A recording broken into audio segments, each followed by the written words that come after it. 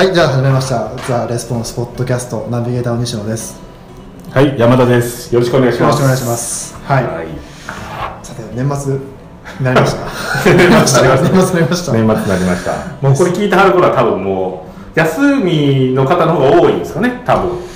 休みの方多いでしょうね、今年。まあちょっと休みのなんか、あの、まあ休日じゃないですけど、その関係が微妙な、今年たちは少ないかな？一応ああ、確かにそうかも。だから。29、30、31、1、2、3ですか？そうですね、そうですね。3日か。まあだから、いつもよりは若干少なめなんですけど、まあまあまあ、もうこれ聞いてる頃は、おそらくは。おそらくは。まあ、仕事してるはる方も中にはいらっしゃると思いますが。まあ基本的にはでもまあ休みの日、休みですよね。まあ、そんな、ね、忙しく仕事をしてはる方か、まあそのね、休みの時までこのレスポンスポッドキャスト聞いてるというね、はい、珍しい方も珍しい。今日は。お届けしていければうん、お届けねしていきたいと。思いますね。軽い。緩い内容をゆるい。お届けしていきましょう行きましょうか。はい。何話しましょうか。まあ年末なんでね、じゃあ、なんかなんですか、今年の振り返りというか、そうですね。ね、西野さんはこう、どういう、あれですか、1年というか、まあ、今年、まあ、良かったこととか、なんかわかんないですけど、そうですね。僕今年良かったこと、まあまあ一年これ聞いてる方は誰どなたもそうだと思うんですけど、いいこともあれば、まあもちろん悪いこともありますんで。まあそうですね、まあいいことで言うと結構あのいろんなことにはチャレンジできたなっていうのはすごい。チャレンジしたし、まあ、いけたしっていうのもありまして。いけた？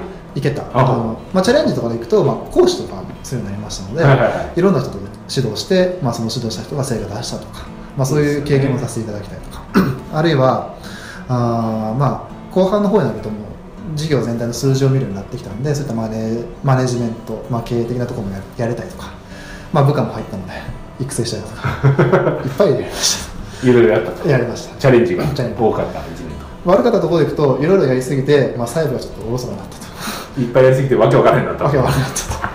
ほど。これはちょっと僕の中では反省まだ行けたっていうところでいくと、まあ、アメリカに行けたとかアメリカのサミットはいはいセミナーサミットとかに参加2回ぐらい行ってましたよね。今年は2回行かせていただきました、はいあのーまあ行ってそうですねすごい、まあ、その本番のその空気感とか、まあ、学びでも面白いこともありましたの2で回ともライブのやつですか？ライブのセミナーという。ライブのセミナーですライブのセミナーです、しかも3日間拘束なのでまあまあああ、イベントみたいなやつですね。はい、行かせていただきまして、まあ来年も1回、いますね、来年、2017年も1回は行きたいな。と、ああ、なるほど。うんやっぱそういう空気感を触れるっていうところではしたいなと。なんかでも前もはい。そのポッドキャストの時もこはい。の話したと思うんですけど、なんか確かはい。なんか3つそのなんていうんですかその学んできたことがあるみたいなはいはいはい。話をして1個だけしか紹介しなかったですよね。時間の関係で。そうですね、あよく覚えていらっしゃいます。なんかねそ多分ねそれが1個前ですよね。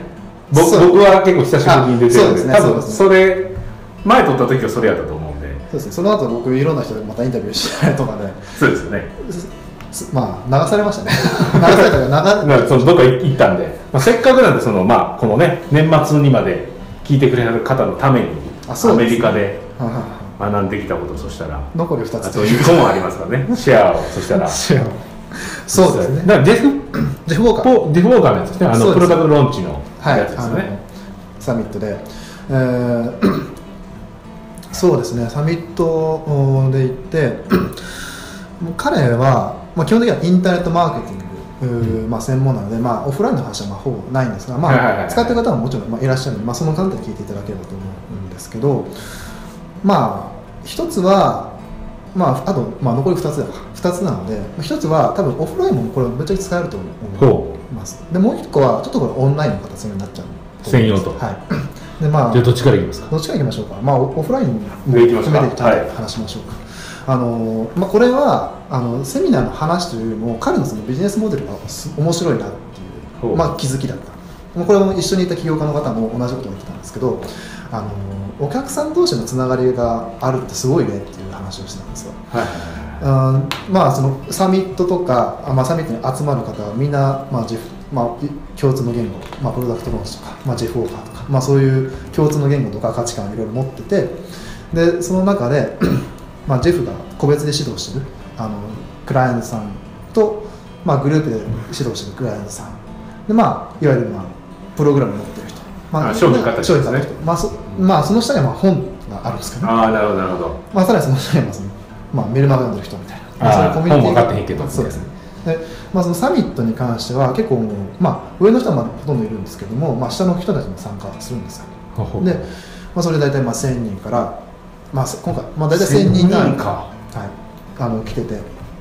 で、えー何がすごいのかってその、まあ、上の人たちはもう大ファンなんですよ要はもう個別にコンサルしてる人とかグループでコンサル受けてる人。ですね。大ファンでその人たちが大ファンの人たちがこうジェフのそのいろんなことに対してのそのアグレッシブな反応とか ジェフはすごいよみたいな話をまああ。のサミットだけじゃなくて普段のこの僕もそのなんていうかなバーみたいなところみんな集まるんでバーみたいなの行って話してみるんですよ、サミット終わった後とかですか？あそうです。イエスビビるな。アメリカの感じになってますね。感じになってまあなんとなくもう話せば話せるんでそのあそのアメリカの人あのね喋ってくれるんで。はいはいはい。でその、まあ、ジェフの話はもう個個別の人たちとかもいろんな人がもういや彼は素晴らしいんだよみたいな話を、まあ、するわけですよ。なるほどなるほど。内容も素晴らしいですから。あのその規模感もその雰囲気も面白かったので。あそういう話を聞くと、まあ、僕は普通にこう、まあ、ひ引いてみるじゃないですけど、まあ、ジェフがすごいなと思いながらの普通の人なんで、でもその話聞いたらあやっぱすごいのかなでしかもみんなそういう熱があるから面白いんですよね。ってなるとあもっとこう関わっていきたいっていうか。なるほど。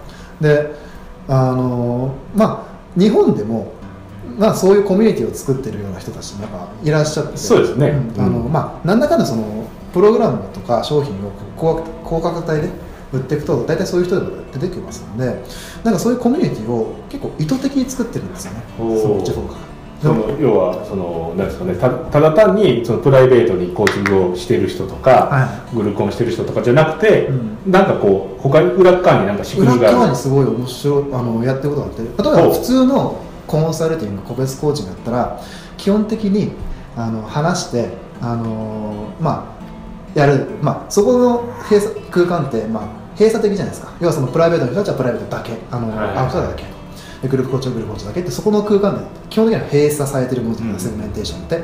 でもそのサミットとかに関して言うとそれはもう入り混じるんですよ。なるほどなるほど。でその時にジェフ・ウォーカーが必ずその僕たちが大切し大切にしてる価値観とかの話をするんですよね。でその時に教え合うこととかあのそのひ人を助けることとかそういうなんか、まあ、価値観とかそのジェフ・ウォーカーという、まあ、集まる人たちのなんか文化みたいなものを彼が自分で話してやるんですよ。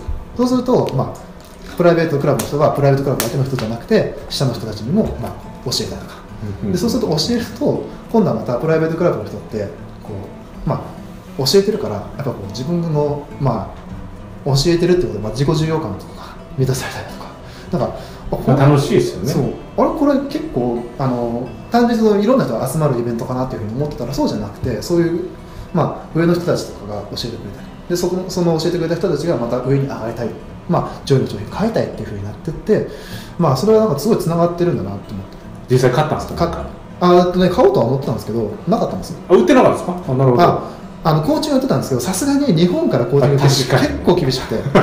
でしかも 一応買われた方もあの日本人で行かれた方で買われた方もいらっしゃったんですよ。でいらっしゃったんですけどやっぱりちょっと厳しいあの英語やし英語やし行かなあかんし。行くんですか？それはもう。あと一応スカイプのコーチングがスカイプのコーチングがメインなんで。ななんですけどやっぱり行かないとダメだみたいな。ああスカイプで喋っててもまあ ちょっとみたいな話ですね。であとまあ面白い売り方もしてるんですよ。毎回ジェフ・ウォーカーがみんなからもらったものであのこういうことができたんだよとか。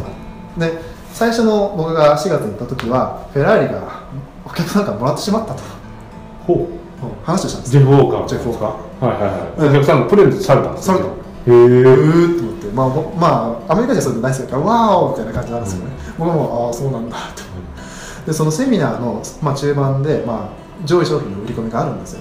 その時にジェフ・ウォーカーが今回は特別なプレゼントがあると。これだよって言ってフェラーリ出したんですよほうそれもらったやつ？もらもらったやつでその いやまあ、まあ、ちょっとちょっとまあお客さんに対するそのねあのあれは別としてあのまあ言うたら確か1000万か2000万か、まあ、それ相当のものを、まあ、今回その上位商品の中でコンテストするから優勝した人にはフェラーリあげるおおマジで？みたいな。るほなでも、まあ、日本人でやっちゃうとやっぱそのスピーチ化しなきゃいけないんで無理だと。スピあーなるほどね。日本人でその、まあ、英語できる感覚じゃできないし、うん。まあそうなるとちょっともうちょっと参加できひんだと。参加できな。いちょっと悔しい。欲しいけどみたいな。あね。オファー強いなとは思ったんですけどね。まあなんかそういう売り方してたので、まあ、僕は構わなかったという話。そうか。でそれ買った人がそのフェラーリの権利ももらえるわけですね。そのそうそう。その参加できるというそうそうで買って成果出た人が発表してよかったらもらえる。そうですそう。ですでまあ話聞いてたらそのいわゆるじ一番上位のそのコーチングメンバーのあの空きって今ゼロなんですよそれはもうずっとその人たちが更新し続けてるからもう空きが出ない状況らしいんですね。抜けたら入れないかもしれない。そうです。しかもその、まあ、いることでああなたあの名札の枠に違ってああなたプライベートクラブのあのプライベートコーチング受けられてる方ですねみたいな。なるほど。であそうだよみたいな。ですごい人じゃないですか。すごい人たちみたいな。でそういうモデルになってるんですよ。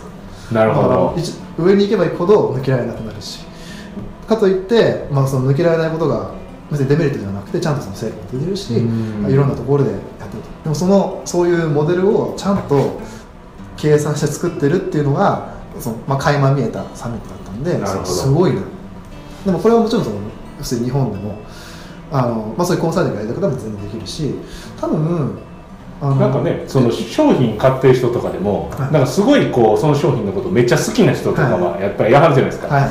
そういう人たちとだからまだこう使い始めて、はい。最初の人たちとかがうん。こう会える場をねうん。